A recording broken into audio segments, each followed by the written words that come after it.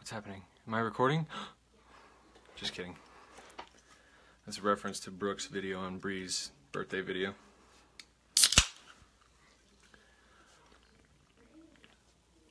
Oh my gosh. Did Jer- Derrik really drink Coke? No, I'm a Pepsi guy, but they were out of Pepsi. And it's Friday, so I get to I get to party a little bit. Just wait for a couple people to get on.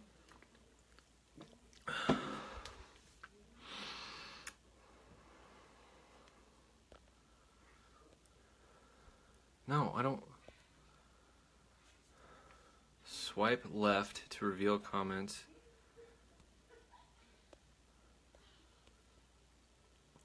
Okay, how is this?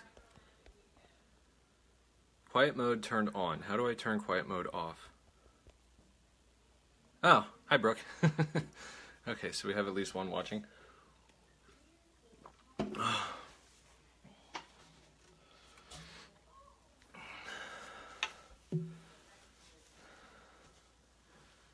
Where's Tyler? I need to get him on here. There is a ton of sugar in Coke. I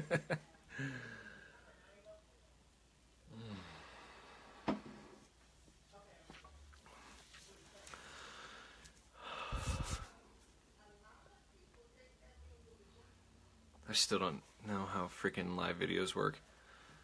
Oh, I forgot to. I gotta plug my phone in. Hold on.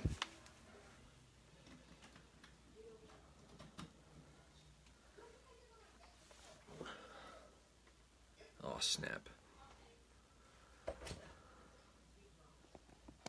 Oh, this is gonna be. This is gonna be fun.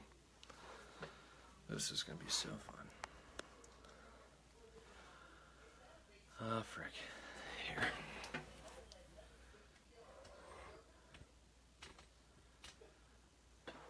There we go. That's better.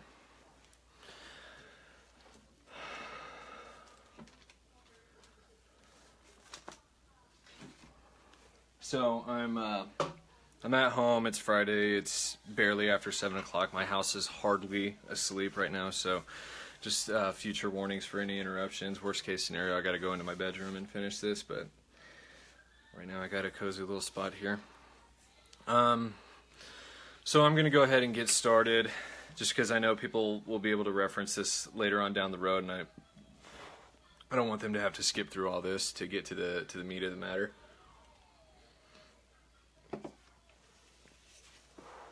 All right, but since uh, since I can't help it, it's in my dispensational blood. I feel like I got to start this off the right way, and if you know anything about dispensationalists, we really have a, a, a high view of Israel and uh, basically anything Jewish. So what I got with me right now as I'm doing this is my awesome little shofar. It's actually Tyler's shofar, but uh, if you ever tune into my um, into my class, you see that it's always sitting there on the table with us just to kind of set the mood. So what better way to start um, a discussion like this than to blow the shofar? So I'm going to try my hand at it real quick. I'm probably going to wake up a baby or piss off, you know, the rest of my family, but I like to party.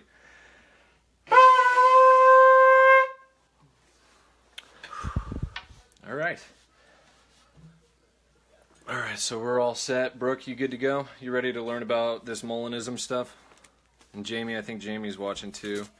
Um, one of the things I wanted to say before I get started is I'm not doing this as a means to persuade anybody to a certain um, thought process um, as it pertains to soteriology and uh, all that stuff. It's just that um, you know some buzz has been going around the last few days about Calvinism, and so David wanted to open up some dialogue, and I'm not I'm not really hardly ever able to be able to participate in any live discussions or anything like that. So what I wanted to do is um, kind of talk about one branch of soteriology that I I hold to. Now, because I, I, say I'm here to discuss Molinism because like Tyler's in the Molinist group on Facebook. I know Stefan is. Uh, Steven says that he has Molinistic leanings. Um, so I'm, I'm hardly the only person who I identify as a Molinist, but I, I I'm guessing I might have studied it a little more than the other admins. So I just felt like, hey, why don't we discuss this? You know, um, so I wanted to discuss Molinism, but as as you'll see, Molinism isn't a soteriology. It's a uh, it's a philosophy that can kind of be used in different soteriological systems. Like you can imply it to your theology, and I'll also give some examples of that. But yeah, so anyway, there's been a lot of buzz lately, you know, because of the Calvinism, and uh, you know, we had months and months ago, we had uh, oh, what's his name, Andrew you know, was toying with open theism or was a full blown open theist. You know, so Molinism, the discussion of Molinism is more related to open theism than it would be Calvinism. Um, now, if you wanted to promote like the compatibilistic free will that Calvinists typically um, hold to, and we'll get into that, then it's more akin to that. It's the philosophy behind the theology, right? And so I'll just say I'll just say this right now because I got my notes here, so hopefully I'm able to um, articulate this as well as I'd like. Um, Molinism is a philosophy; it is not a theology. So, whenever, like Rich was doing this the other day, he's like, "What do Molinists say to this question?" I'm like, "The answer's yes. The answer's no. It, it's whatever that individual Molinist wants to wants to affirm." Um, because, like I said, I'm part of a Molinist group on Facebook. There's like a thousand members. There's there's Calvinists in there. Um, there's there's Arminians, there's traditionalists like me, there's people who don't really know where to go. There's the Roses Molinism. I'll get into that a little bit later too. Um, all stripes, all different stripes. Alvin Plantinga is one of the biggest advocates of Molinism, um, the philosophy side, because he's like the foremost Christian philosopher in the world right now. Um, and he he believes in Molinism. You know, I got his book God, Freedom, and Evil, but he's kind of Calvinistic in his belief. So it's not a it's not a theology. Like you can be a Molinist and be a Calvinist. You can be a Molinist and an Arminian. It's just how do you answer those logical questions that naturally come up when you're doing your theology. That's what Molinism is. So I need to get that out of the way. And having done that, we can discuss what is what I call or there's a there's a ministry I follow. They're called Free Thinking Ministries, and uh, there's a guy there. His name is Tim Stratton. I know Tyler knows who I'm talking about. We're friends with him on Facebook. Brilliant guy, great apologist. He's a disciple of William Lane Craig. Um, that's like his hero. Um, he has the Free Thinking Ministries. He's an apologist. He you know he's really a baller apologist in many ways. He's come up with his own arguments for theism, for God, and stuff like that. So brilliant guy. But I follow his ministry, and he has an article. It's called Mere Molinism. Yeah, T Strat. And so that's what I'm going to share tonight. What is mere Molinism? What is the the very baseline Molinist idea, right? And so, just a forewarning: if if your brains aren't willing to work right now, you, you might kind of suffer through this. Ain't that true? But um, because this gets really philosophical. Okay, so I'm gonna. It, it's one of those things where um, it's one of those things where it's like I understand it, but I don't know if I'm able to fully communicate it to everybody. So I'm to do my best there. That's why I love this this live video. You guys leave comments if you have questions, okay? So um, mere Molinism, it can be condensed to two pillars, right? And if you believe these two pillars, you can consider yourself a mere Molinist. You are a Molinist at the very base level, right? And so what are the two pillars? The first pillar is one, God eternally possesses middle knowledge. Middle knowledge is the key to Molinism as a whole, right? And of course, there's this second pillar, but middle knowledge is where everything everything ties together. And so you're saying, what is middle knowledge, right? Okay, and so essentially in theolo- the philosophical theological circles, typically most Christians are going to believe that um, God has at least two tenses of knowledge. Thank you, Lyndon. At least two tenses of knowledge: His natural knowledge and His free knowledge, right? And uh, most most will agree on that. And here, I'll just let's see if I can't flip my camera around so it won't be backwards. All right.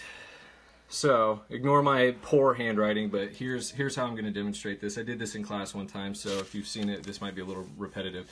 So anyway, most most will agree God has, or actually, I think pretty much you have to be an Orthodox believer.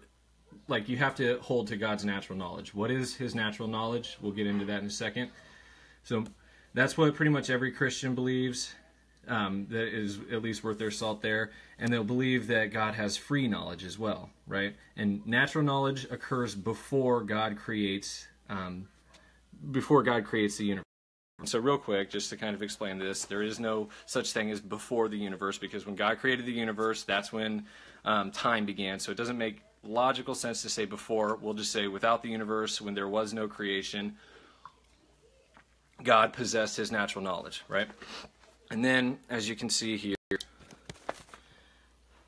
he has the creation, and that's when his free knowledge comes into play, right? And so, for a lack of better term, Luis de Molina, the guy that Molinism is named after, for lack of a better, better word, you have the natural knowledge and free knowledge. Right in the middle here is where middle knowledge comes into play. So, what are these tenses to knowledge?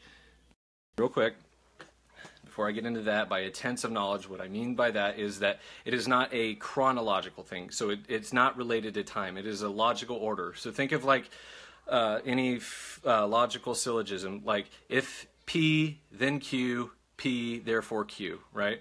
And so it's like premise one logically comes before premise two, but that doesn't have anything to do with time, right? It's just it's just a line of reasoning, right? So when we say natural knowledge comes before middle knowledge, it's not in time, it's just logically. So if you don't get that, don't worry, it's that important, but I'm trying to be um, trying to be whatever the word for that is. So anyway, natural knowledge. What is natural? God's natural knowledge is His knowledge of all necessary truths. Okay, and so what is a necessary truth? That's things that can't not be true. So God existing is a necessary truth. Two plus two equals four is a necessary truth. God is omniscient is a necessary truth, right? And so, along with the necessary truths, God knows everything that could happen, right? That's where this, we're going to concentrate mostly on this right here. God knows everything that could happen. So God knows in his natural knowledge that um, everything that could possibly ever come to play. Okay, so God knows that he could create a universe where Adam doesn't sin, right? Something like that. Anything that could happen. It's anything that is logically possible. God knows that he can that um, that could happen, right? And so then we have the middle knowledge is what comes next. This is Okay, sorry, I got a phone call. Um, we'll, we'll, we'll do his free knowledge next. His free knowledge, which comes into play after creation, is God's knowledge of all contingent truths. Okay, and so a truth is essentially a truth that is that comes into play because of God's creation. So um, once God creates the universe, a contingent truth is grass is green, um, the sky is blue, the earth is the third planet from the sun. Those are contingent truths. They don't have to be true, but they are true because of God's creation, right?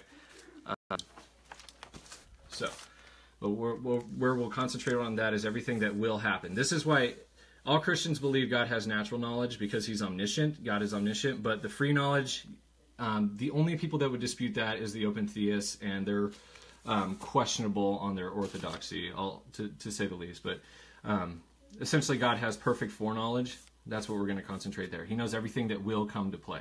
Okay? So before or after natural knowledge, you have his middle knowledge, right? And this still happens before God creates the universe. Middle knowledge is knowledge of all counterfactual truths, okay? Factual truth, I know that's a big word. I don't expect you to understand it.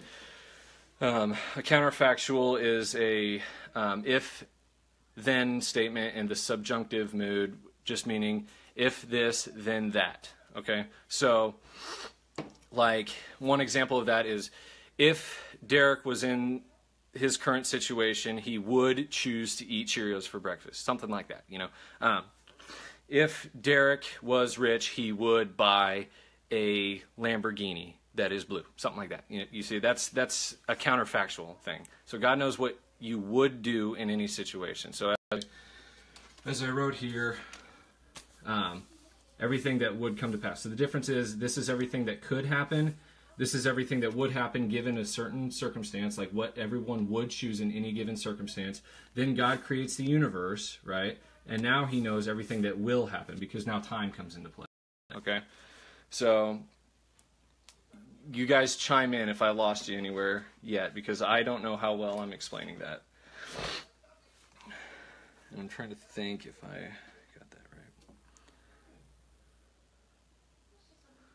Nobody's saying anything, so I assume I'm okay. So anyway, that's what middle knowledge is. To break it down, that's that's the rough philosophical foundation of it. All it means is that God knows what you would do in any possible freedom permitting circumstance you would find yourself in. Like God knew if you were in the apostle Peter's shoes, God knows what you would do. Would you deny Jesus three times? I don't know, but God does, right? Um, if you were in Pontius Pilate's shoes, um, God knows what you would do. Would you let Barabbas go? Would you crucify Jesus? Would you let him go? All that stuff. God knows what you would do in any given circumstance. oh man, he's he's actually probably going to interrupt this before I finish, but that's okay. I'll just go up into my room. Um, but anyway, so the first pillar of Molinism I said is God eternally possesses middle knowledge. Um, the the eternally possesses like honestly, don't worry about that because if you want to get into the really rough, intricate philosophical arguments, there is a debate whether God possesses middle knowledge before or after he creates. Um, I just think it makes sense that why wouldn't God know what you would do in any circumstance before he creates the universe? Like, it's just common sense to me, but there is a debate nonetheless, so I have to, for. Uh, for precision, I say God eternally possesses middle knowledge. But the idea is, does God know what you would do in any given circumstance? Does God know what you would freely choose in any circumstance? If the answer is yes, then you believe God has middle knowledge, right? Um, the number that's that's pillar number one. Pillar number two of Molinism is humans possess libertarian free will. Um, I abbreviate that with LFW. I don't know if I'm going to show you my paper or not on this, but um, so what is libertarian free will? honestly, the way I would like to define it is just go out onto the street and go ask somebody if they believe that we have free will. Okay, and typically what they're going to think when you say free will is what I mean by libertarian free will. But because um, we'll call them the soft determinists have come in, um, some people of the reform persuasion, what they like to call uh, compatibilistic free will, because they kind of use the word free will, we have to we have to be more precise and say libertarian free will to distinguish it from the uh, compatibilistic free will. Okay, but libertarian free will just means I think the simplest definition is the ability to choose between options in accord with one's nature. So it's like um, it's like any decision you make, the decision comes truly from you, and um, you have a range of options to choose from. You could choose A, you could choose B, you could choose not A, you just you just have a choice in the matter, right? Like you could choose, you could not choose, you can choose different things. You guys know what free will is, okay? So if you believe that mankind has libertarian free will and that God knows what you would freely choose in any circumstance, you're basically a mere Molinist, essentially. Um, but as you as you see, um, actually no, I'm gonna I'm gonna say this just because you know because I know we have compatibilists in the in the group, so I'm just gonna break this down. This is Tim Stratton's argument against um, determinism. Let me walk you through this right here. He says, premise number one if theological determinism is true, humans don't possess libertarian free will, right? So if determinism is true, that means that your actions are determined either directly by God or by the circumstances leading up to it, like your desires and your will is determined. Um, premise number two if humans don't possess libertarian free will, humans can't engage in the process of rationality, nor do they possess inferential knowledge.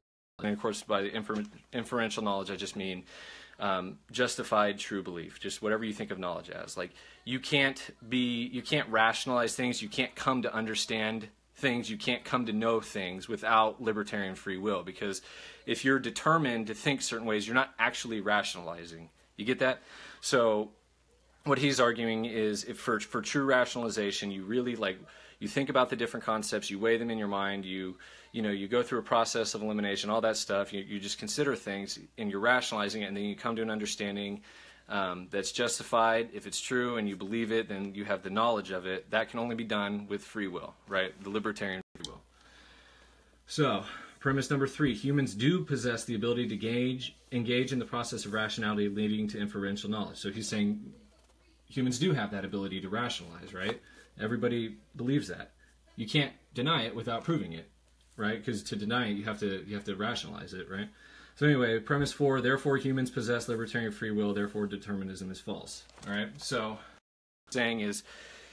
Do humans possess libertarian free will? I think we do because we have the ability to rationalize. We have the ability to think for ourselves, to come to conclusions, to come to different um, perspectives on things, to come to know things in different ways. Like how something clicks in your mind, you're rationalizing it. That's because of your free will. It's not because you're determined and you know things are put in your mind to get you to come to this place. It's because you're you're actually doing it yourself, right?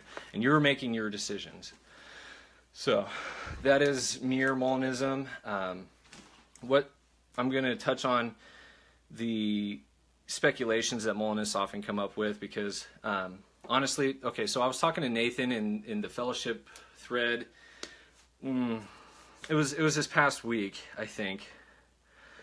He was he was talking about Molinism and what Molinists believe, and I, I had to come in and I was like, no, that's not what we believe. Um, that's that's this type of Molinist. It's not all Molinists. You know, uh, I've, I've, done that with Tyler. I've had to do it with myself. I was a Molinist for like three years before I realized it's not a soteriology. It's not a theology. It's just a philosophy to reconcile um, man's free will with God's sovereignty. Right. So one thing that if you bump into Molinists, you'll get this speculation. So why why is it important that God possesses middle knowledge before He creates? The idea is that God knows what everybody would freely do in any given circumstance. So what He does in His knowledge, His exhaustive knowledge, is He's able to control events without actually determining you to do stuff. Mm-hmm. Oh, I'm sorry, Stephanie. Um, uh, so instead of like like where the determinist says God arranges the the the events, everything that comes to play, he knows it because he arranges it himself. Like he determines everything that happens either directly or through secondary causes, right? Um, the Molinists, with uh, the idea of middle knowledge, they can say that God controls everything and is able to arrange everything by using his middle knowledge. Like he says, I know what this person will do in this circumstance, so I'm going to put them in that circumstance. They will freely do this. I'm not determining them to do it. They are making that choice, right? And so he can work with mankind and their free decisions to ultimately come to his ultimate ends, right? That was redundant, but you get what I mean. So is it is it God's um, omnipotence where he is directly determining everything and how it all turns out, or is it God using his knowledge of man's free will and being able to work with that to eventually get to his ends. And Molinists will come up with ideas like that's where you get uh, trans world damnation. I'm not necessarily a believer in that, but they believe that everybody, like God created the world. He create okay through His middle knowledge, He knew the best possible world He could create, and created that. And that is the world where everybody who could be saved or who would be saved in some circumstance will find themselves in that circumstance and be saved. That way, nobody who would have been saved in one circumstance will be damned because they just didn't happen to be in that situation. You know what I mean? But this is that's when you get into the realm of complete speculation. The Bible is not going to give you the answer there. It's total speculation. I just chalk it up to mystery. I don't know which world God created. I don't know what his ultimate ends are. I'm not going to pretend to. I I suspect that it is God is going to respect man's free will. He's going to try to save everyone without violating their free will. Um, and his goal is to save as many lives, as many souls as possible, working with man's free will, balancing it with how many are going to be condemned, blah, blah, blah. I try to keep it simple, but you'll, you'll see speculations run wild with Molinists. Um, and so, real quick, before I get into soteriology, I just want to touch on. Um, because Nathan brought this up. This and I was a huge advocate of this for a while. So you know how Calvinists, the five point Calvinists, have tulip. Um, the most popular uh, Molinist soteriology, I call it the roses soteriology. Um, he told me he was a Molinist. Haha, so far I'm. Awesome. Um, the roses. The roses uh, uh, soteriology is what I'll call it because there's this guy Kenneth Keathley um, he wrote this book, Salvation, Sovereignty. Beautiful book. It's a great book. Um, I recommend it. Um, let me explain this to you really super quick what the ROSES stands for.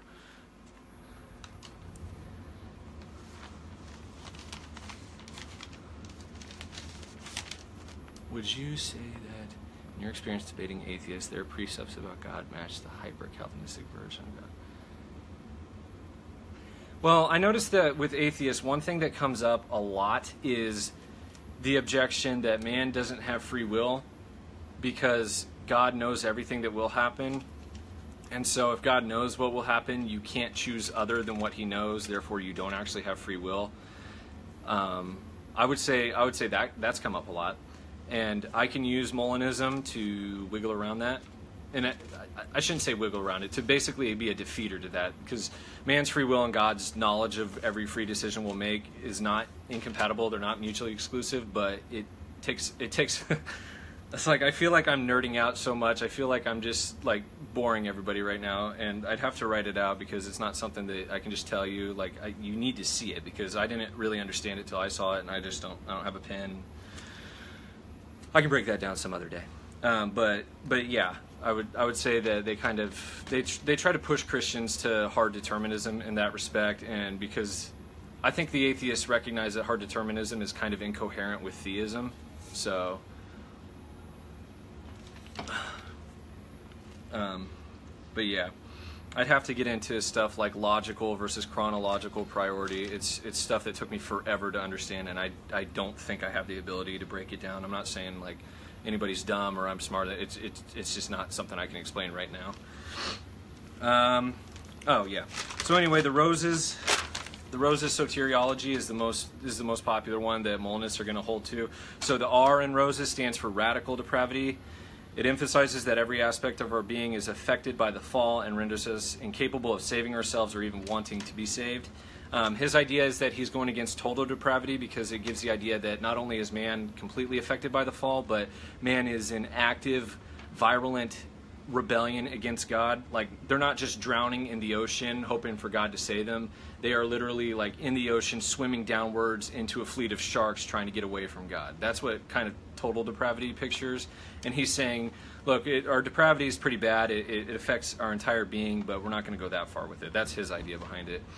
Um, the O, he calls overcoming grace in contradistinction to uh, irresistible grace. He says, highlights that it is God's persistent beckoning that overcomes our wicked obstinacy.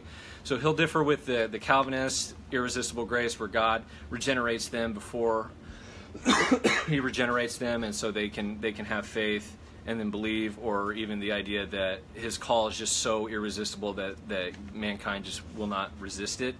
Um, so he's going against that. He's going against the Arminian idea of prevenient grace, where it's like God brings you to a point and then he enables you to make the decision. You either go left or right. His is more of a God is working with you constantly through your life, through circumstances, through the Spirit, drawing on your heart through the gospel, trying to persuade you to to to the truth. Essentially, that's his idea of overcoming grace. Um, sovereign election. That's what the first S is for. you guys. Sovereign election, he said that's uh, as opposed to unconditional election. Um, yeah, I, would say so too. Um, it affirms that God's desire or God desires the salvation of all, yet accentuates that our salvation is not based on us choosing God, but on God choosing us. So that's whenever he gets into his. Uh, um, he believes that salvation is monergistic. You know, you get into monergism versus synergism. I don't even like that debate, to be quite honest, but he gets into that here. I'll, I'll touch on it here in a second. Affirms that God desires the salvation of all. So 1 Timothy 2 4. Yet accentuates that our salvation is not based on us choosing God. So it's not just us coming to the point of saying, Yes, God, I choose you. It's it's God choosing us, but you know, once once he breaks it down, it's it's right in the middle between the Arminian idea and the Calvinist idea. Um, the E in roses, eternal life. It says that the believer's assurance is in the fact that Christ declares us righteous. Also stresses that believers enjoy a transformed life that is preserved, and we are given a faith which will remain. So he says eternal life. It's essentially eternal security, right? So his the roses um, theology is eternal security. Once you're saved, you're always saved. Yeah, exactly. I'm not. I'm not all about the monergism versus synergism anymore because I could. I could explain a monergistic idea that isn't Calvinistic, and I would still be accused of synergism. But I could also say what's wrong with synergism whenever it's portrayed this way. You know, it's. I. I just don't like the debate.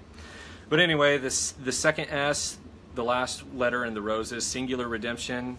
Um, that goes against the limited atonement he says emphasizes that Christ died sufficiently for every person, although efficiently only for those who believe. And I would I would actually believe that.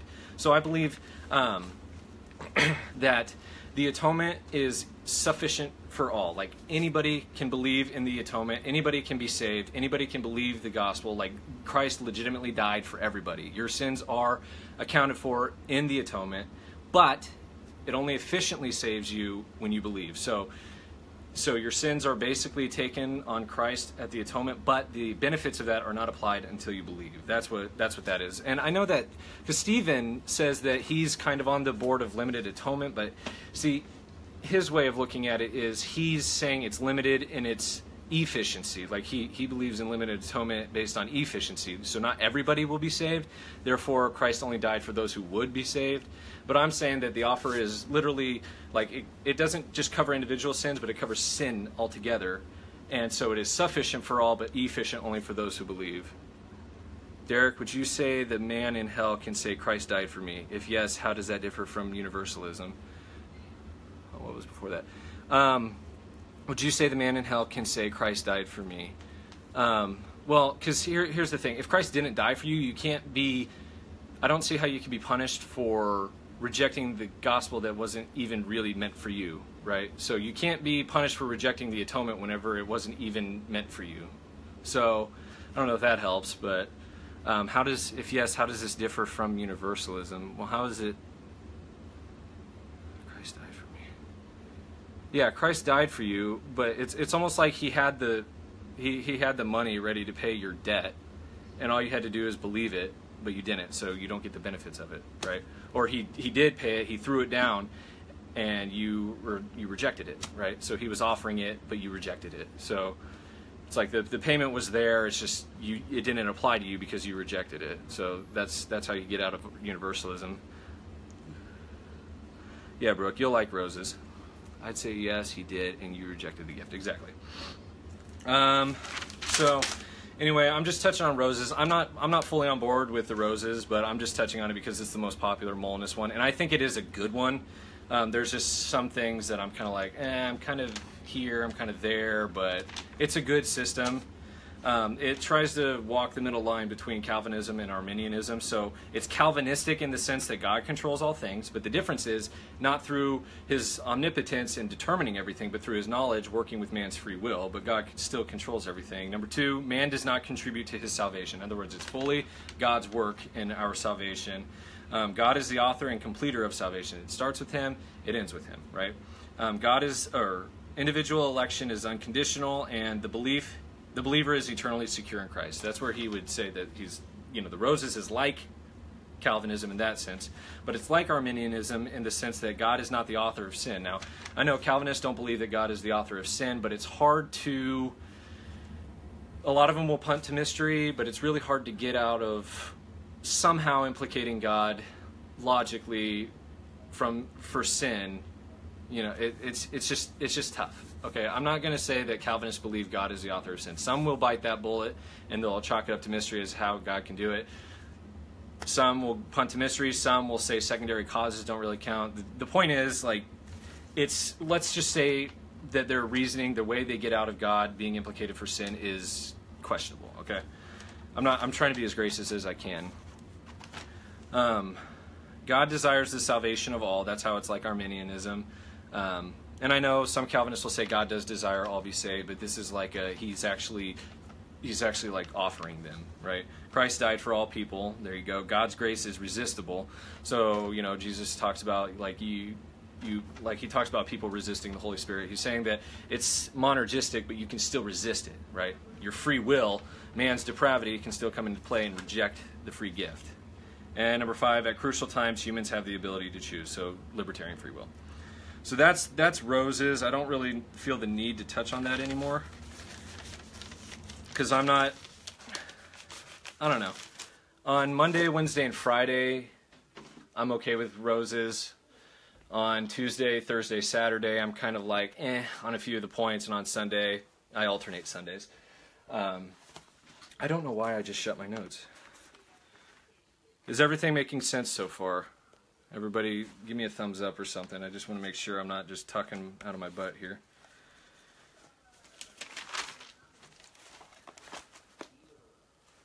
Mm-hmm. Thank you, Jovan. And so, um, so that's Molinism. If you believe that man has libertarian free will and you believe that God knows what you would do in any, any given situation, you are a mere Molinist. Um, I used to think I was very philosophical and minded, and I kind of am, but it's, go into the Molinist group and just go read some of those threads, and you'll it'll go over your head. It's insane. Mm. But like I said, because Molinism isn't a soteriology; it is a philosophy to reconcile certain theological um, mysteries, I guess we could say. But I can say I'm more on the Southern Baptist traditionalist side of soteriology. Um, you know, Leighton Flowers is, is one of those. I think a lot of people will, will be on board with a lot of stuff he says.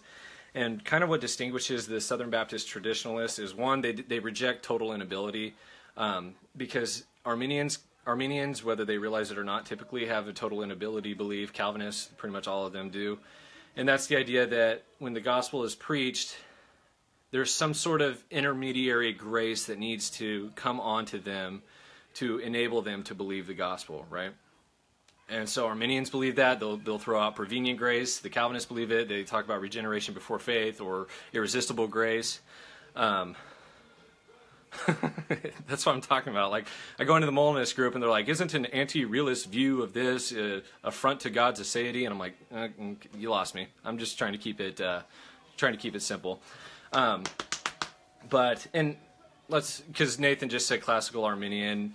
Um, a lot of people will identify as Arminian, and it's it's not as tightly defined. So it's like I, by a lot of people's account, I'm an Arminian. I don't I don't say I'm an Arminian, but by a lot of people's account, I am.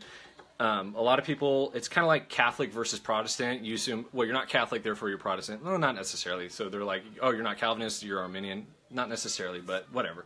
I think that the, there's subtle differences. But anyway, so Southern Baptist traditionalists will reject the idea of total inability. We believe that the, the, the gospel, the word of God, the preaching of the gospel is enough to enable man to believe the gospel, right?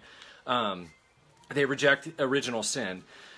Um, so the idea there is that original sin in the sense that when Adam sinned, like, yeah, we believe that mankind fell um, we are depraved in every aspect of our life. Everything is affected by the fall, but we do not bear the guilt of Adam's sin. And I would I would kind of be on that because we didn't actually do it. Now, if it turns out that we did, I believe Molinism offers a solution to that. Like, how can I be held accountable for the sins of somebody else? Well, if you want to believe um, in in original sin that you are guilty for Adam's sin, it's as simple as saying. Um, Adam was the representative, and you're like, well, I didn't want to represent him. Well, he was because God knew that if you were in Adam's shoes, through his middle knowledge, he knows if you were in Adam's place, you would have fell too. So he can hold the whole human race accountable because they would have fell too. So you can get out of it that way. Um, I just, I just don't, I just don't really buy it. I don't, I don't believe that we're held accountable to the sins of of, of Adam. Um, we inherit death, not guilt. That's perfect. Um, yeah. Um, and so, what else is there? I believe that there's another. Dist- oh, um, so Southern Baptist traditionalists are often compared with Arminians. Arminians typically believe that you can apostatize or lose your salvation, however they want to parse that out or give it back, you know, reject it at some later point. The Southern Baptist traditionalists, you're eternally secure. Boom. Like once saved, always saved, set. Um, now, and here's the thing because Calvinists say, well, we agree with that too because of perseverance of the saints. Here's the thing, though, because as, as I've studied this, I don't think perseverance of the saints originally meant eternally secure. I think what it meant is you will be saved in the end because you persevered. It's like because you're a believer, you're guaranteed to persevere, and therefore you don't ever have to worry about apostatizing or going to hell. But my problem with that is I'm not going to be saved because I persevered to the end even if I'm guaranteed to persevere, I'm saved because my sins are washed clean. You know, Christ's atonement is on me. I'm washed by the blood of Christ. So I'm, I'm that's that's taken care of. It doesn't. It's not dependent on perseverance, right? So I think the original idea of perseverance of the saints was you will persevere to the end to be saved. So you know what you got Matthew 24. Those who um, persevere to the end will be saved. Something like that. Um, yeah, exactly. So that's why I'm like, I, I think there's a difference between eternal security and perseverance of the saints personally. But if you talk to a Calvinist and even many non Calvinists, a lot of them will equate the two. Just understand how they're parsing it out because I believe that preservation of the saints is more like eternal security, not perseverance. Um, but then that gets into a discussion that Stephen was talking about on a group call. If you're a believer, are you guaranteed to persevere? Even if that's not what's going to save you in the end, are you still guaranteed? That's a debate we can have. Yeah, exactly.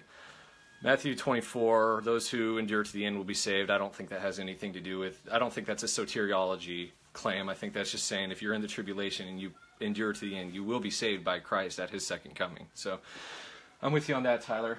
Hold on, I gotta grab a Bible. I should have been ready.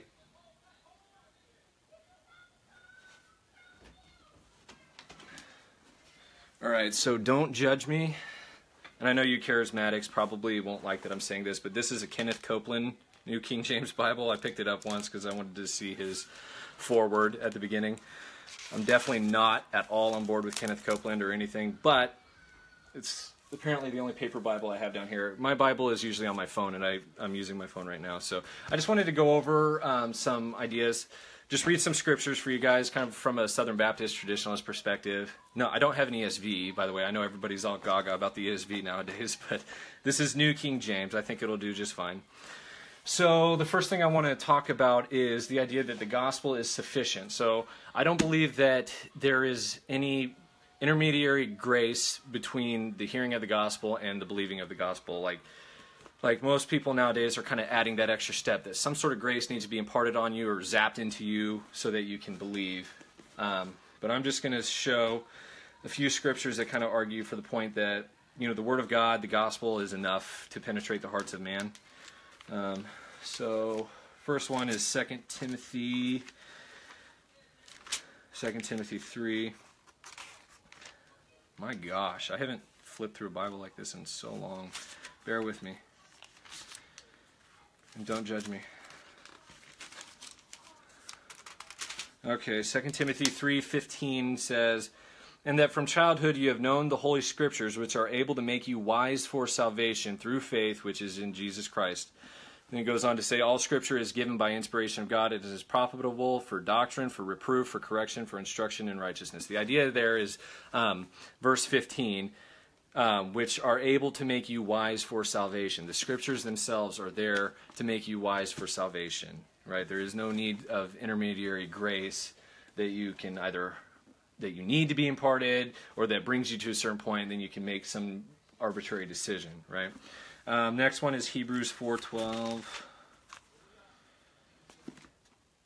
Da, da, da, Hebrews 4:12 says, "For the word of God is living and powerful and sharper than any two-edged sword, piercing even to the division of soul and spirit and joints and marrow, and is a discerner of the thoughts and intents of the heart." The idea is that the word of God itself is powerful enough to pierce even the, the deepest parts of your being, all the way down to your heart. Right? There is no need of the grace to open your heart to it. The gospel, the word of God, is able to do that in and of itself.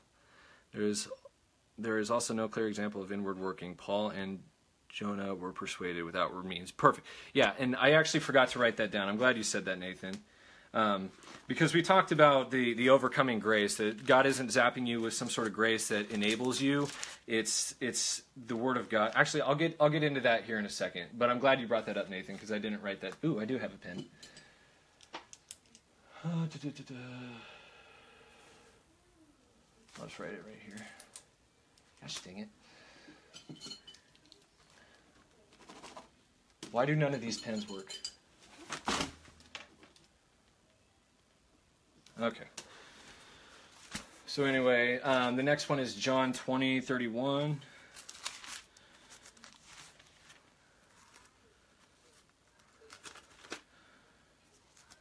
Okay. See, and this is another reason why I don't get why you guys are so into having a physical copy of the Bible. I'd be there already if I was on my phone. I'm just kind of teasing. All right, 2031 says, But these are written that you may believe that Jesus is the Christ, the Son of God, and that believing you may have life in his name. In other words, the, God, the, the stuff is written in the Bible so that you can believe, because the Word of God is what enables you to be able to believe. It's, it's the hearing of the Word. Watch my language. What did I say? Did I say frick? I say that a lot. I'm sorry. uh, 2 Corinthians 5.20 because I'm I'm I'm machine gunning these verses at you guys because I want this for uh, for later times that people want to look back on. Okay, what did I say? Second Corinthians five.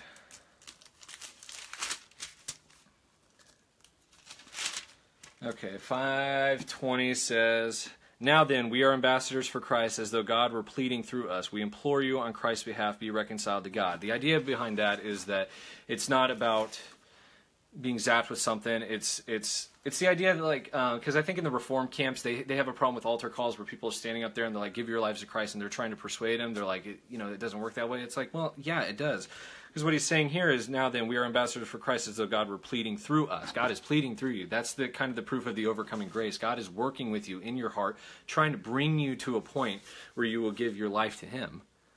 I like Bible Hub, by the way. I do really like that.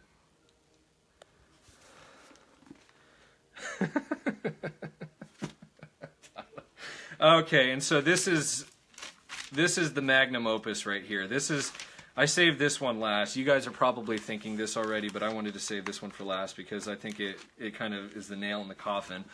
Romans 1:16 For I am not ashamed of the gospel of Christ, for it is the power of God to salvation for everyone who believes, for the Jew um, first and also for the Greek.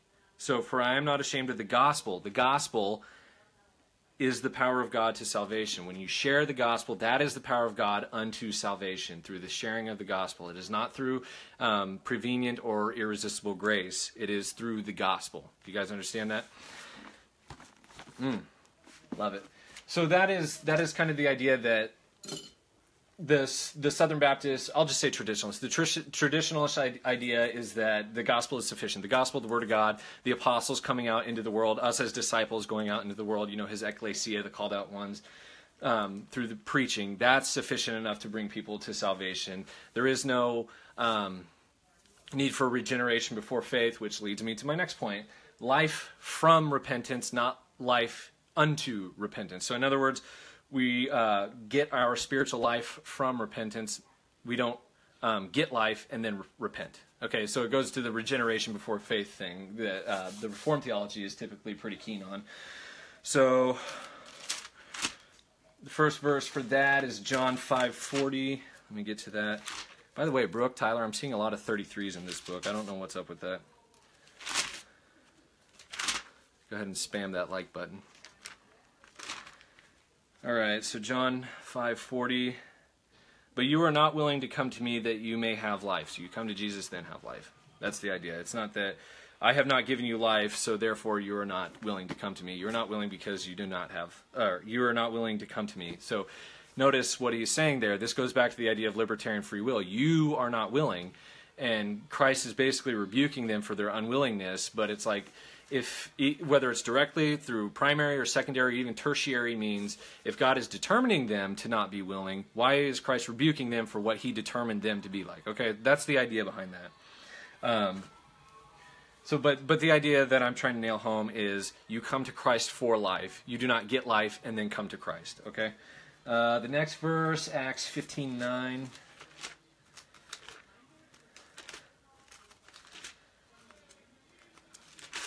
Okay. Da, da, da.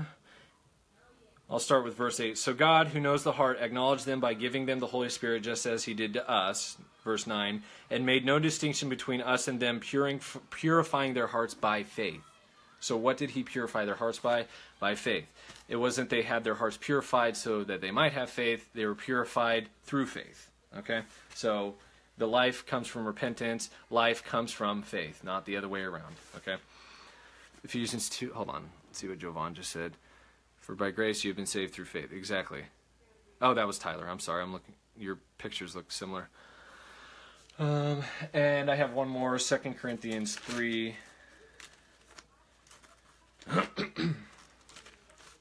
Ooh.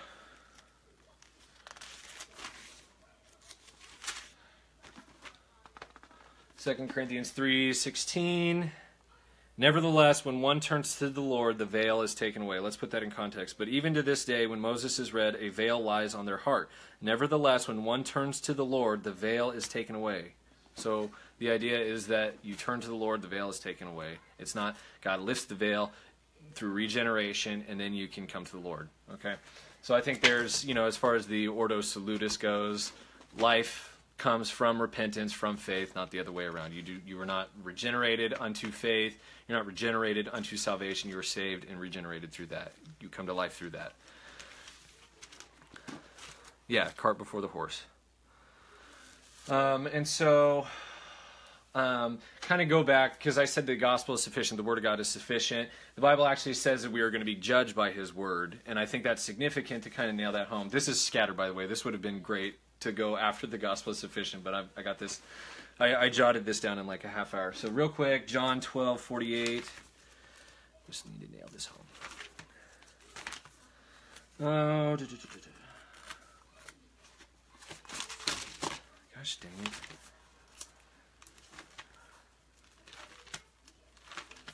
Okay.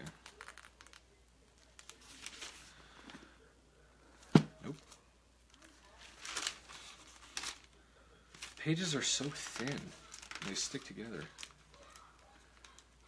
This doesn't happen on an electronic phone. Okay, sorry. Uh, John 12, 48 says, um, We'll start with verse 47. And if anyone hears my words and does not believe, I do not judge him, for I did not come to judge the world, but to save the world.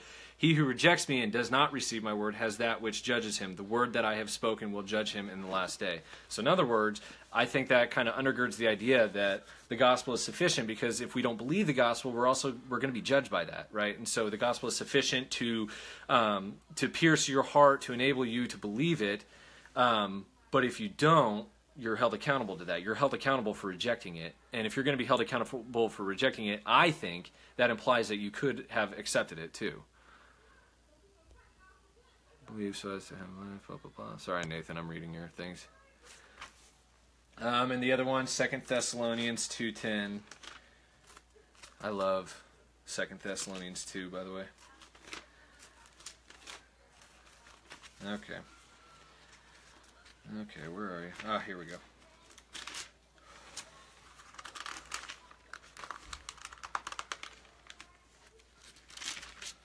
Okay, so that Second Thessalonians two ten says, start with verse nine. The coming of the lawless one is according to the working of Satan, with all power, signs, and lying wonders, and with all unrighteous deception. This is verse ten among those who perish, because they did not receive the love of the truth that they might be saved. So in other words they did not receive the love of the truth. It goes back to you're held accountable for rejecting that. Yes, pre trib. Amen. I know Nathan doesn't like that, but we're all brothers and sisters here. Okay, and so here's here's the question that often comes up. I, have noticed when you're talking to reformers, um, the idea is that what well, they'll and, th- and this isn't like a believe this instead of the reformers. This is okay. So here's here's what I'm saying. This, they'll they'll ask this question. Here's my response to that. They they can accept it. They can reject it. You guys can balance it yourselves. The idea is why did you believe the God? And I think this is an important question. So I'm not just reform bashing here. I promise. The um, it's a question that's a, a, good question to ask, and it is why did you believe but your neighbor didn't? Right. So you believe the gospel, but they didn't. Why is that? Is there something inherent within you that is more virtuous than them? If so, then then was it not some sort of virtue within you that allowed you to be saved? Therefore you know it's almost like a works thing. They kind of connect it that way. I think that's a really important question. Why do some people accept the gospel the call of the gospel and some reject it?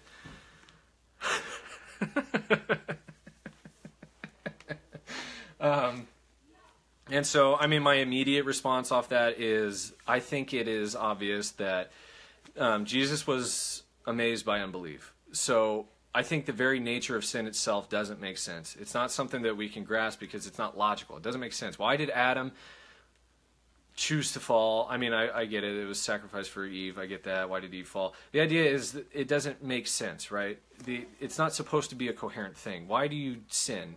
Um, it's a mystery, right? And so I think that if you put the mystery of sin and the rejection of the gospel on the sinner instead of God, because if if God either limited the atonement to where it doesn't, it's not offered to them, truly offered, um, to where you can say Christ died for you, um, or if God withheld some sort of grace from them that could have gotten them to believe, then in some sense God carries some responsibility, right? But if we put the mystery fully on man, then God is in, completely vindicated in the process that God was trying to overcome their obstinacy. He was trying to reach out to them. He was using their circumstances, tugging at their heart, and they still rejected him. That is the, the, their condemnation, their damnation is 100% on them. They are 100% to blame. God gets no blame whatsoever. But if he is withholding something for them or it didn't really do something to truly offer it to them, a bona fide offer, then it, I think I think it's hard to say that God isn't somewhat responsible, right? Um, that's my immediate thought. But uh, the idea is what I what I think the scripture kind of breaks down for us is the idea that those who are humble and contrite heart are going to be the ones who accept the gospel. Those who are hardened and prideful are the ones who reject the gospel, right? And so then the reformed people will ask, okay, why was this person humble? Why was this person prideful? Um, well, um, I know it's backwards to you guys, but look, I have all these scriptures, everything with an X by it, and there's several of them with an X by it. Those are those are scriptures that are commands to humble yourself. That is why I believe that man has the ability to humble himself. If you are not humble and contrite heart, if you are not poor in spirit, it's your fault. Okay? If you are humble, then it's because you are not rejecting God's beckoning at your heart, right? So it's still not you earning your salvation. The thing is, I don't believe that, like, if you could earn your salvation, Christ didn't need to die in the first place, right? So it's not a matter, it, it's because some people want to call you a synergist or want to act like you have somehow earned your salvation, even if you do something just to simply say, Yes, I accept it. And they're like, ah, but you now you're kind of God doesn't get all the glory now well, I would I would disagree with that, but I think the the point is that even if you wanted to go monergism versus synergism, um, the people who are humble are the ones submitting themselves to Christ, to His beckoning, and the ones who are not humble, the ones who are prideful and hardened of heart, are the ones who are rejecting God, and the mystery goes on them. See, I don't think it's a mystery why people accept the gospel, why people humble themselves when God is beckoning them to. I don't think that's a mystery. I think it's because that's just God is that good I think the mystery is why do some people reject it, right? So the mystery isn't why was this person saved? The mystery is why was this person rejecting the gospel? It doesn't make any sense, right? And so once again, it goes back to you put the, all the blame on them, but those who accept it, God gets the glory for that, right? Hold on, what are you guys talking about? Oh, Rebecca. As Tyler said, I'll see you after class.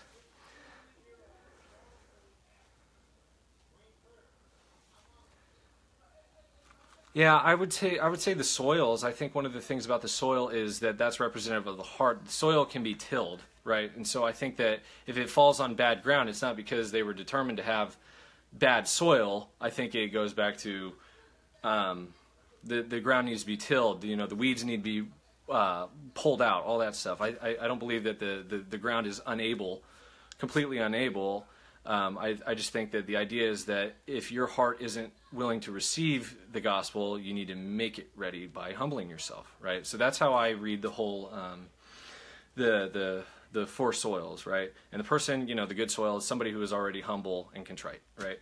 So I'm just going to real quick read just a couple of these, just to kind of demonstrate what I mean, because they get they get repetitive. So I'm not going to go through all of those. Ugh. 1 Peter 5 5 and 6. Likewise, you younger people, submit yourselves to your elders. Yes, all of you submissive to one another, and be clothed with humility. Be clothed with humility. God resists the proud, but gives grace to the humble. Therefore, humble yourselves under the almighty hand of God, that he may exalt you in due time. Humble yourselves. He does not say, pray that God might humble you, or um, may God somehow, through some means, give you humility. He's saying, humble yourselves. And, and I think that's just a matter of listening to God beckoning at your heart, God pulling at your heart as He does, the Holy Spirit indwelling within you, right? Um, let's see. I don't know if you guys can hear my son crying, but if you can, I apologize. He does that a lot.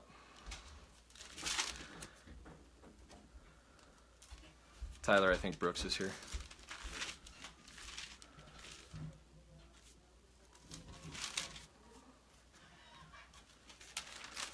Brooks, I'm live streaming right now. Do you mind if I finish up real quick? You... I mean, you can come down here. I'm just, just don't bug me. Hey guys. This is. How are ya? I'm Brooks. We're doing scripture stuff, so don't be a pagan. so I shouldn't flex. Correct. Get out of here. Get out of here. Okay, sorry. Okay. All right, so James 4:10, humble yourselves in the sight of the Lord and he will lift you up. Humble yourselves, humble yourselves, humble yourselves. All right. Oh, and I wanted to touch on this because like I said Nathan reminded me of this. Um, Acts 17, 26. And he has made from one blood every nation of men to dwell on all the face of the earth, and has determined their pre appointed times and the boundaries of their dwellings, so that they should seek the Lord in the hope that they might grope for him and find him, though he is not far from each one of us. So that speaks to the idea that God. That speaks to the idea that God is using the circumstances in your life because He wants you to reach out to Him through that. Okay, that um, that not only is it some inward call, not not just some inward means that he's tugging at your heart, but he's using the circumstances in your life. And I know a lot of the admins can relate to this right now. God is moving within us through the circumstances in our lives, whether they're good or incredibly terrible. Um, so I feel like there. Let me read one more.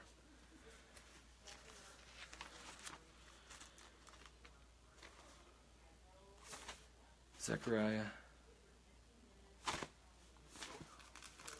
Trying to think of where Zephaniah is. Oh, what is it? No, it's not. Um, Jeremiah, Lamentations, Ezekiel, Daniel, Hosea, Joel, Amos, Obadiah. I don't remember. I used to have the books of the Bible memorized. Now I'm. Zephaniah, Haggai, Zechariah. Okay, Zephaniah. Okay, hold on. Here it is. All right, Zephaniah 2 3.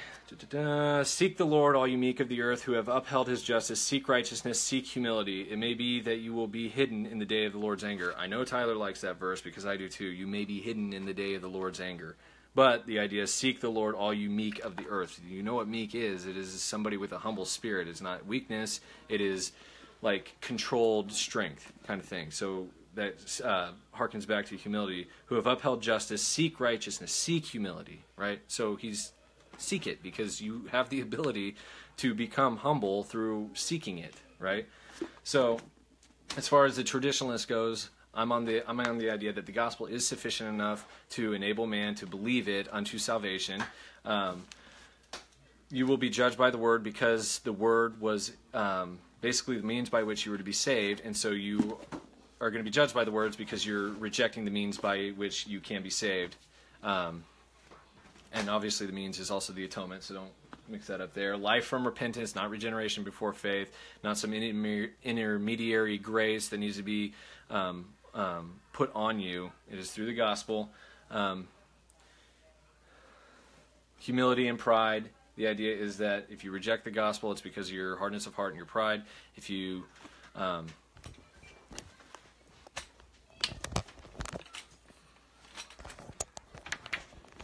My phone's about to die. so, and if you if you accept the gospel, then it is because you were of humble heart. To you were the good soil, right? And it is your responsibility to be that good soil. Is the idea. Book of the Living versus Lamb's Book of Life. I believe that the Book of the Living is the Old Testament idea. Um, the Lamb's Book of Life is New Testament. I think the Book of the Living, whenever somebody's blotted out of the Book of the Living in the Old Testament, they are killed. Their physical life is gone, right?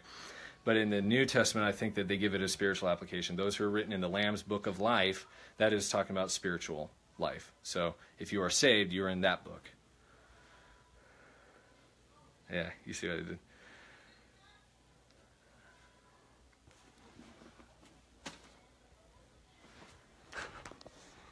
All right. See. Um, if you guys have any questions.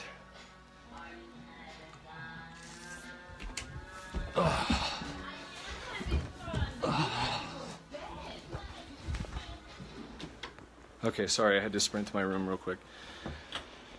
All right. Can you be blotted out of the Lamb's Book of Life? Um, he who overcomes will not be blotted out of the Book of Life. That's uh, Revelation Revelation 3 something. I don't have a Bible on me now. Brooks. to someone who trusted in their own righteousness and viewed others with contempt.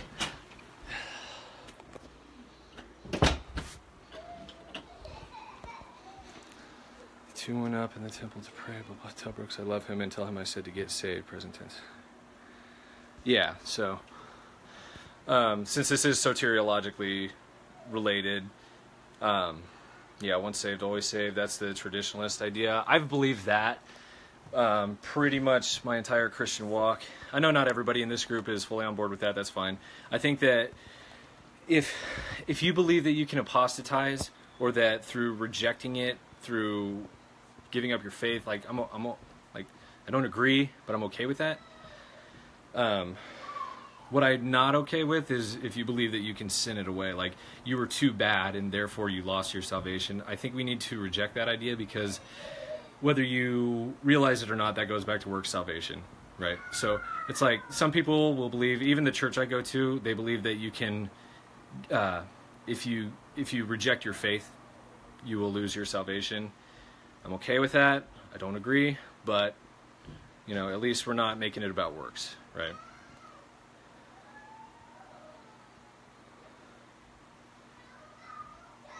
Right. So that's well. Lyndon just said it's Revelation three five. I will not blot out his name from the book of life. So I, I think that's a promise to believers, you know, the overcomers, that they will not be blotted out. That's the whole idea. Right, and th- you see, Tyler, that's the question. So did did Christ not die for the sin of apostasy? The Bible doesn't say that. So if somebody apostatizes, I think what will happen is God will take them out of the game, but not, you know, I think he's more merciful than to cut them off from salvation. I think what he's going to do is cut them off from the physical life. Okay. I believe those in Christ are predestined to stand holy and blameless in sight. Yeah, which goes back to Ephesians 1 because um, that's a that's a popular Sorry, that's my son. That's a popular reformed idea that Ephesians 1 talks about predestination and you know adoption and all that. I think that that's promises to those who are within the body of Christ. I I think that's the corporate election belief that everybody in Christ is predestined to adoption, which is glorification. Right, Tyler. If a person loses salvation, is he paying for sins he was previously forgiven for? That goes back to Hebrews 10:14, for by one offering we are perfected forever or he has perfected forever those who are being sanctified. Right, so we are perfected forever. So what sins are we being held accountable to if we lose our salvation?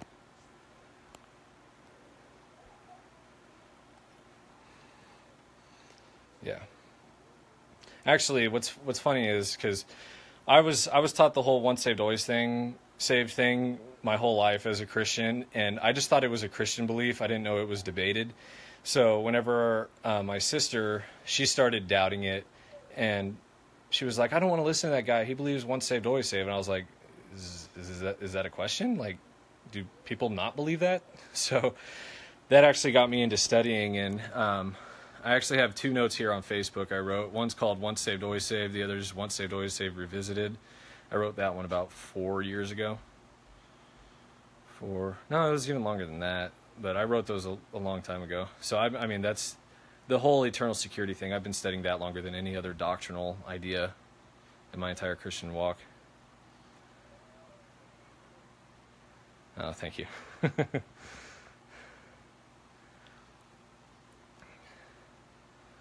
Is anybody else like about wondering about Molinism or traditionalism, anything like that?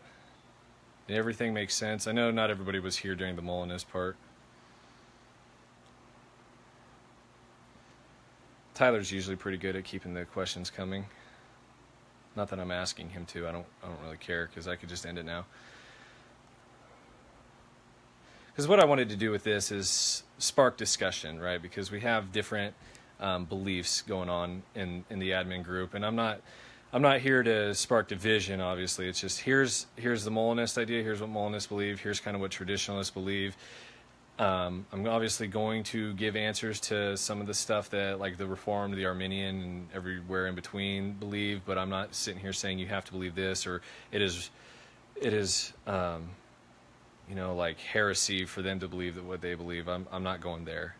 This is just hey, let's let's throw out different perspectives. You know, hey, we could do this with eschatology sometime, right? Me, Tyler, Stephanie, we'll we'll we'll battle it out from the dispensational camp, and then you can have your like uh, David and oh, I don't know what everybody else believes. So, well, at least David is a is a a partial preterist. I'm sure he's not alone, so we can we can always do that too. This is just more on the soteriological side. So we are forgiven for every sin, past, present, and future, or are we still going to be held accountable for our sins and punished for them? No, no, Rebecca, and that is that is one thing that needs to be within every Christian's mind. Always, the gospel is that we are wiped clean. First John one 7 through 9 read that. Like the blood of christ cleanses us from all sin. Um, now some people will say that doesn't cover future sins but the idea is that uh, christ doesn't he didn't die for your sins up to a point and then you need to repent and those sins forgiven. The idea is that you're washed clean. You are not guilty. You are not going to have sin applied to your account anymore like you are justified the, the, the debt of sin not for those sins up to that point but for sin is paid at the cross, right? And then, like I said, Hebrews 10:14 also, for by one offering we were perfected forever. So, so yes, every sin, every sin, past, present, future, taken care of. We're we're good. We're forgiven.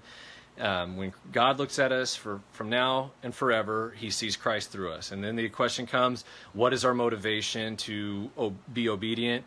I think that's arrogant to ask because you're saying, well, I don't have the threat of hell to keep me obedient. So what's it's like, no, okay, so you were an enemy of God. You had all this sin stacked against you. And while you were a sinner, Christ died for you, reconciled you. You could never earn this in, you know, ever, ever, ever could you earn this. And you're saying, okay, thank you for that. Now what's my motivation? It's like, okay, idiot. The, the motivation is that Christ saved you, right? And I'm not calling you an idiot, Rebecca. I'm just saying, like, for any uh, interlocutor who would ask that question. The idea is that out of out of the love of our, of our hearts, the Holy Spirit working within us, we desire to be obedient, right?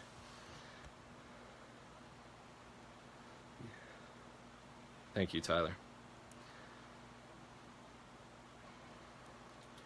Um, faith is the assurance of things hoped for, the evidence of things not seen, Nathan. So um, the way I look at it is because that's how Hebrews 11, the Hall of Faith chapter, starts off. It is the assurance of things hoped for. So, in other words, there is some assurance within you that what you are hoping for, and this isn't just like, oh, I hope it happens. It's like, no, God has given you this hope. It is a hope you can trust in, um, and is the evidence of things not seen. So, even if you don't see it yet, you still have the evidence that this thing is going to come to pass, right? Um, since faith is described as irresistible, maybe explain how the Bible defines. It. So yeah, that's how I would define it. And in more simple terms, it is belief and or trust that is acted on. So um, I can trust somebody to do something, but until I actually let them go out and do it, it's not faith, right? Or I could believe something. I could believe a chair is going to hold me up, but until I sit in it, it's not actually faith. It's belief and trust that is put into action. So. Um, that's how that's how I would define it, and I think the Bible would kind of go with that too. We give an account for how we live our life, but won't be at the great. Yeah. So anybody who hasn't studied much eschatology, the great white throne is where sinners are judged, um, those who were not redeemed. And what are they judged for? Well, they sin. So I think there's different degrees of punishment in hell. Why does the word say that certain sins prevent you from entering into the kingdom of heaven? So I think what you're talking about, you might be uh, Gosh, I need a Bible in front of me. Why don't I have a Bible in my bedroom? Um, it's somewhere in 1 Corinthians 6 it says it says these people will not enter the kingdom these people blah blah blah blah blah the idea behind that Rebecca is that whenever you are unregenerate you haven't been saved yet you are seen for your sin. God sees your sin right? So before I was saved if I was if I'd murdered somebody I'm a murderer in God's eyes right? But once if you if you go read in 1 Corinthians 6, go go read it as soon as you can because I, I can't quote it because I don't remember it and I don't have a Bible in front of me because Brooks was ruining this.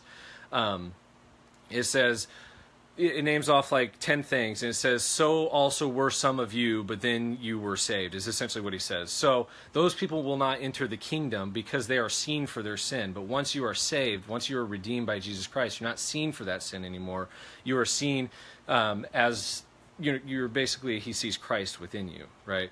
And so you're not seen for your sin in God's eyes anymore. So does that cover? Hold on, let me see your question again. Yeah, so those sins will prevent people from coming to the kingdom, just like any other sin. That's why you need to be saved, right? It wasn't just a ticket out of hell. Amen. Would you say an accurate model of salvation loss would be if the Israelites went back into Egypt, or is that taking the type too far in your? No, I think that's exactly what it is. Supernaturally, they were saved out of Egypt. I think that's exactly what salvation is. It's not that they deserved it; they cried out for it, and God delivered them supernaturally. I think that is exactly what our redemption in Christ is like. And so, um, not everybody entered the promised land, so not everybody will be sanctified. Not everybody will cross the Jordan, but nobody went back to Egypt, even if they were desiring to go back to Egypt. Okay, so hold on. Yes, Lyndon just posted it. Know ye not that the unrighteous shall not inherit the kingdom of God? Be not deceived, neither fornicators nor idolaters, blah, blah, blah, blah, blah. I can't read it all right here, but but yes, Rebecca, if you keep reading in 1 Corinthians 6, it says, So also were some of you. Why aren't they those things anymore? Is it because they just stopped? Or is it because they got saved? Go read the verse and it, it'll tell you exactly what it is. Hi, Jamie.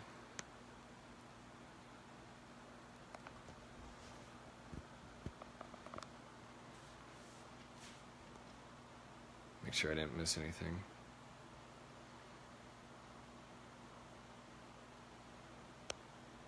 Repentance and faith. I like it.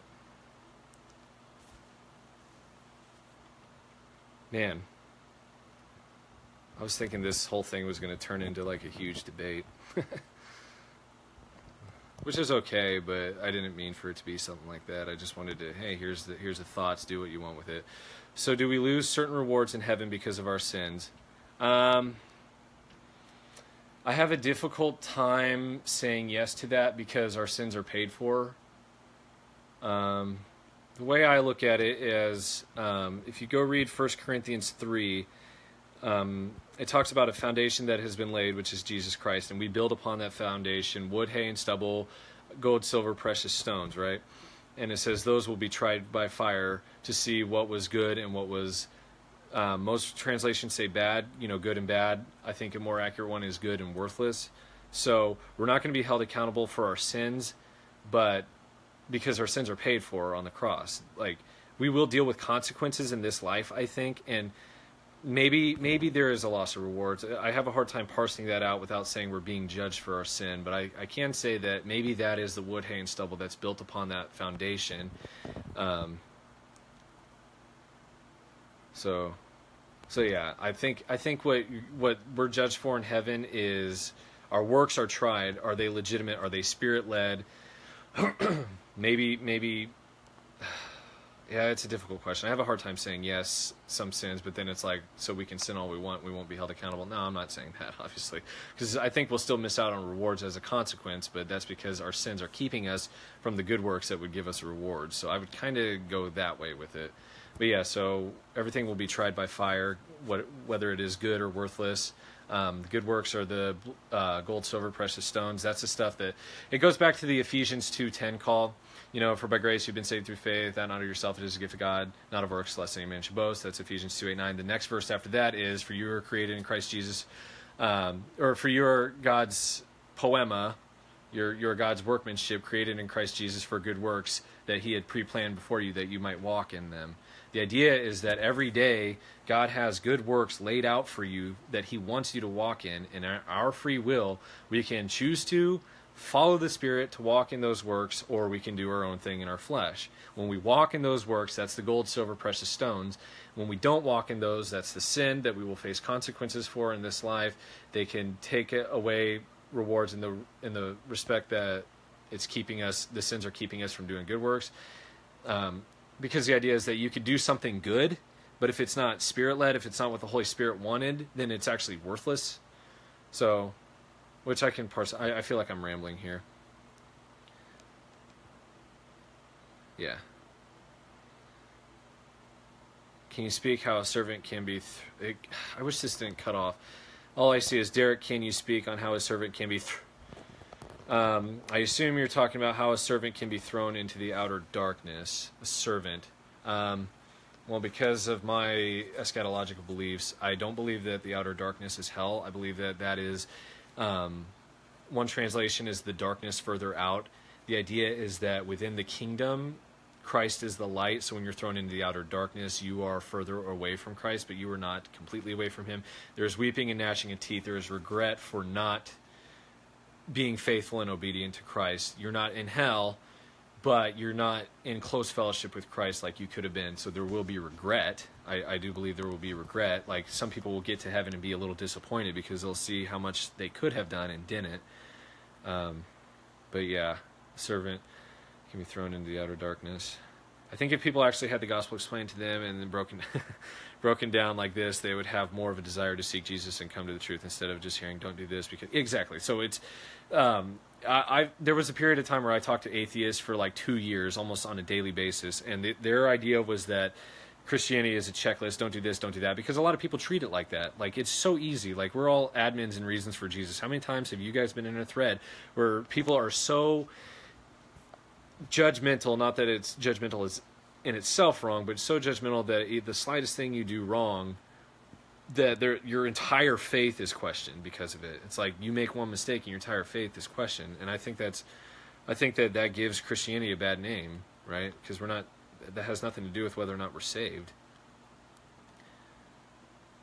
Wow, Derrik, can you speak on how a servant can be thrown into outer darkness that was saved? Yeah, exactly. So, I believe that that is a that is a lack of position in the kingdom. So, um, the kingdom parables in Matthew 25 for the kingdom of heaven is like this. For the kingdom of heaven is like this. Um, it talk it, it talks about the you know the parable of the talents. Um, well done, good and faithful servant, because you were faithful over a little, I will I will give you, I will make you something over a bunch of stuff, something like that. Um, the idea is that whenever you're faithful to your stuff here on earth, um, you get higher position. When you're faithful to the little He gives you here, He gives you more in the kingdom. And so those who are not faithful, they are thrown into outer darkness. The guy who buried his talent, he's thrown into outer darkness, weeping and gnashing of teeth he basically has no high position in the kingdom. He's in the kingdom, but he's not inheriting the kingdom, right? No, I got that 10% battery warning. That's exactly what I thought. I figured I could never live up to these standards, so why even become a Christian? Exactly. That's exactly Rebecca. Actually, haha. I do have a charger. Yeah, the gospel, the thing is, the gospel is incredibly simple, Rebecca, but yet it is so hard for people to accept because it's it's counterintuitive because every religion on earth is all about what you can do to be saved, right? There it is. Okay. I can never live up to these standards. Why even become a Christian? Exactly because it's almost like it's almost like you take the law of Moses and people are I know we're not under the law anymore, but people treat it as if like you got to follow the rules as if you're under the law. And not only are you under the law, you have to follow it perfectly in order to be a good Christian. And it's just there is a way that seems right to man. Amen. It's the only thing that is too good to be true, but it is. And exactly. That's what I oh, when did I do? I did this a few months ago. I said something like the only thing in life that I believe it's not that it's too good to be true. It sounds too good to be true and isn't. It's the only thing that that sounds too good to be true and isn't. And I said the gospel is the only thing Oh, how did I word it? I was in the spirit that day apparently. It's not that the gospel is sounds too good to be true. It's that the gospel is too accurate of my human condition to be ignored, something like that, because it's it nails down your depravity and your need for savior so beautifully. Sorry, my thumb's getting in the way.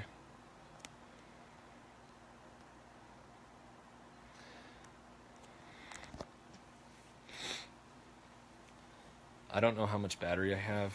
I don't know how well this charger's working, so I don't even know how long I've been going. How long have I been going? Yeah, it doesn't what doesn't help about these live streams is that your comments show up like 15 seconds after I say something. I don't think once saved, always saved is an excuse to sin. I think it is a reason to not want to sin because we are so loved undeservingly, if that makes sense. Rebecca, that is beautifully said. That is exactly, oh wow. um, thanks, Brooke. Uh, exactly, because some people, it's like, uh, and I've I've talked to people like this. They said, I can't believe once saved, always saved, because then I have an excuse to sin, or it's an excuse to sin. And I, what I tell those people is, I'm like, if I was actually, I was literally about to, a customer came in today. I was at work and I was about to put this on my status. I was going to say, um, if you if you believe you need the fear of hell to remain obedient to God, then you do not understand the gospel or the atonement, right? Because it's not it's not about it's not a get out of hell free card. It's it's it's what Paul equates it to. Um, oh, what book is that? Whatever book it is, Paul equates it to running a race. I think it's Timothy. Um, essentially, when you get saved, that's not the finish line. That's not the goal. It's it's the starting gun. So once you're saved, it's like that starting gun at the race goes off, and it's like now you're running the race. How well are you going to do? You need to, you know. He goes on to say like strive for that prize. Like do everything you can. I think that's Second Timothy two. I could be, could be mistaken, but but yeah, make every effort towards that that prize. Your works matter. Everything, all your works matter. But the idea is that the gospel itself isn't isn't about works. It's not get out of hell free. It's it's a starting gun to where you can start doing exactly what God wants you to do on earth. That's what it's all about. Ugh, that is my dad. What did I say? That's like your dad. Was it talking about people following rules? Ah.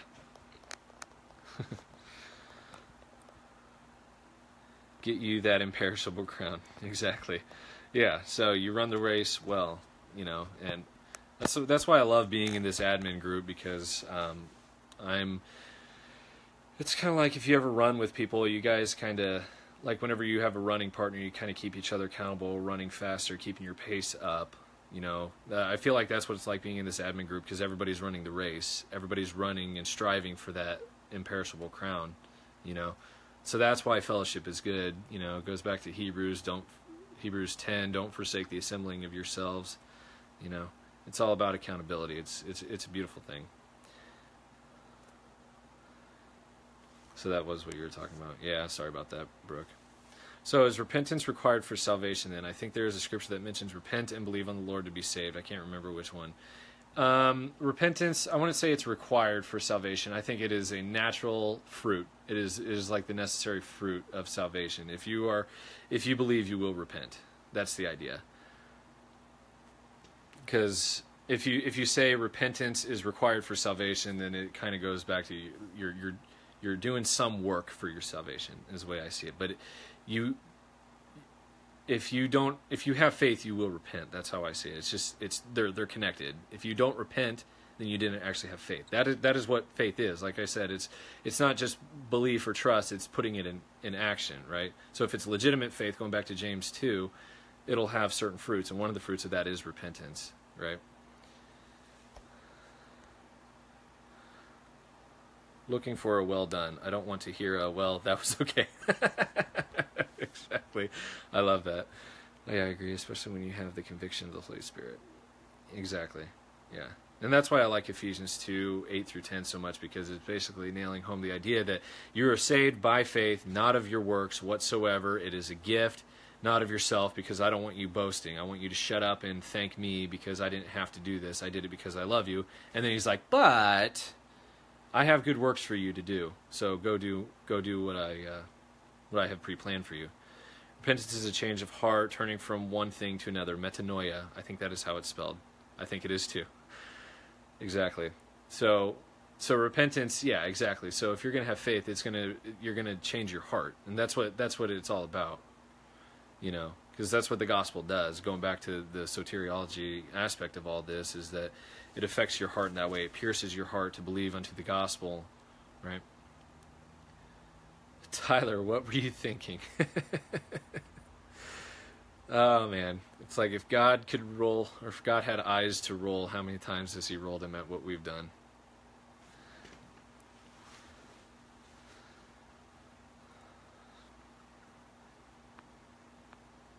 I'm impressed, Brooke. You knew the Greek word behind repentance. So, what about lukewarm people? When does, when God says He will spit them out of His mouth, does that mean He will deny them into heaven? Uh, I mean that's debatable, because um, the debate the, the debate really is are they like are the lukewarm people actually saved? That's the question. And i say yes they are. So no he will not deny them into heaven. He will spew them out of his mouth. I think that's just a rejection of them in this life. I don't i don't i don't i mean i haven't studied that out as much as you would think i have but i think it's just a certain type of language to say like god doesn't want anything to do with you. Like you're useless to him so he's just going to spit you out. Like like get out of here. You're not you're no use to me. If you're saved and you're lukewarm you're not doing anything for god what what use are you? You know as mean as that might sound. I am super smart. So the idea, and I mean, I don't know what he means by be hot or be cold. What I think it is is, um, what I kind of lean to is he wants like if you're, if you're saved, be hot, right? If you're saved, act like it. If you're not saved, stop acting like you're saved. Stop telling people you're saved and go, go be a pagan, you know, and make it known. So that way, because it because what's what's bad for the cause of Christ is uh, people who are believers who aren't doing anything with it and who don't care about it. The, the other bad thing is people who aren't believers but claim they are, right? Both of them are really bad, and I think both of them could be considered kind of lukewarm, be hot or be cold.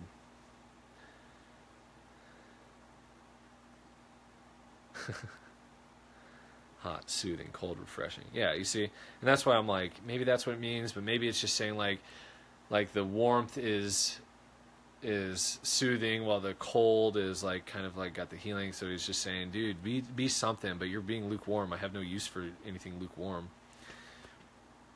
but yeah.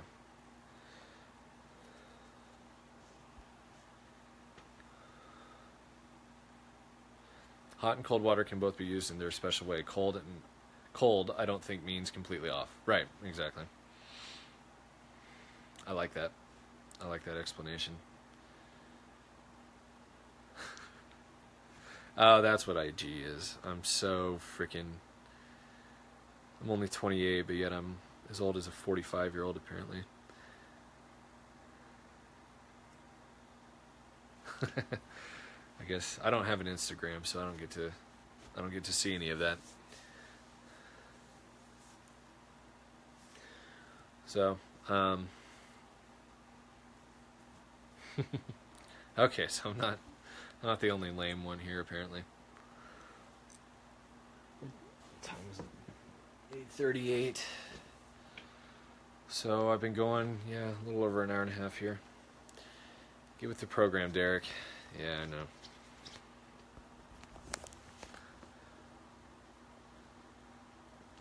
All I'm afraid of is that without realizing it, I said something somewhere on this live stream that one somebody's gonna be like, Derrik, you realize that what you just said was blasphemy, right? I'm like, oh, well, then I'll have to explain that. it's like as I'm trying to find the words for something, you know. So let's hope that doesn't happen.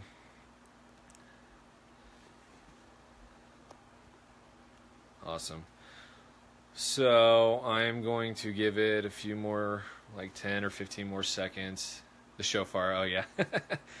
yeah, whoever wasn't here for the beginning, once I once I publish this, go look at like the first two minutes because I kicked this off the right way, Tyler. I did it with your shofar, so that might whet your appetite a little bit.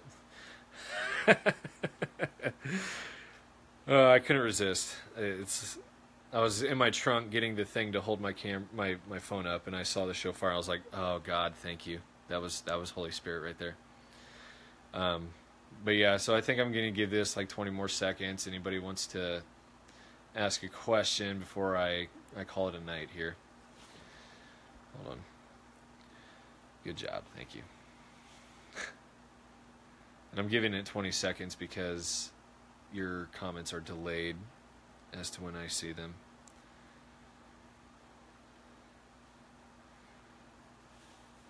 Yeah, this is this is like a week without shaving. I'm not super saved like John Calvin and his freaking. Do I get Beamer rewards for that? Tyler's not about getting. oh, bless you, Rebecca. I'm glad you. I'm glad you popped in. I'm glad everybody was here. I appreciate you entertaining me for this long. Hopefully, hopefully everything made sense. I mean, this is this video is going to be up in the admin group forever now, so I mean, if you're if you're going back and looking at it and you have questions, private message me or just comment on here. And I think uh, do we actually get mansions in heaven or not? Well, I mean, I hope I get a mansion. It's like that might be something that pertains to reward. So if you're faithful and obedient, probably it's like some days I lay in bed and I'm like, I might enjoy my little shack or my, my tent in the kingdom. you know, it's like I don't know how much of a mansion I'm gonna have. It's like maybe maybe I'll get a little tent in Steven's backyard or something. And I can be his butler or something in the kingdom. Thank you. So I appreciate it, guys. I appreciate you sticking around. Um, I'm just gonna go ahead and call it here. Bless you guys. I love you, and uh, Maranatha.